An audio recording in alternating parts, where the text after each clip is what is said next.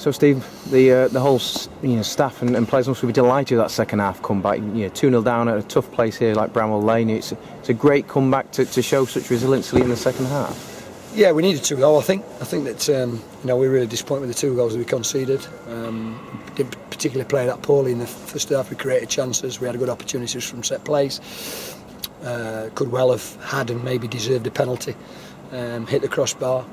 So to come in 2 0 down, we were really disappointed with the players in terms of the way that um, we conceded the two goals, really. Um, the general attitude and endeavour was really good, but we've got to defend better than that. Um, but they put that right in the second half. Let's keep clean sheet in the second half and scored two goals, which was very important for morale and for the dressing room. It's great credit. It's great character shown as well in the second half. Mm. It could have been easily at half time, you know, heads down, subconsciously mm. thinking the game was lost, but it's you know, great character mm. and great credit to the lads to show that they've come through and got this point in the end. Yeah, but uh, I think they realised that um, you know I've got three and a half thousand fans following them up in that stand.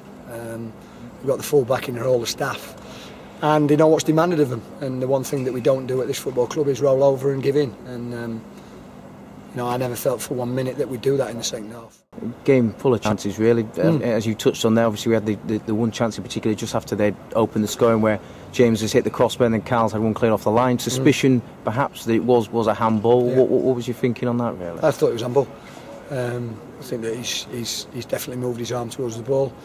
Um, and I just think that um, there may be another handball right at the end of the game and the ball come in the box. Um, the important thing for us is that we didn't drop our heads when those things happened.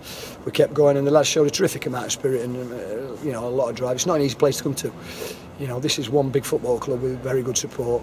Infrastructure, the place is, is very good, and it's not an easy place to come and play.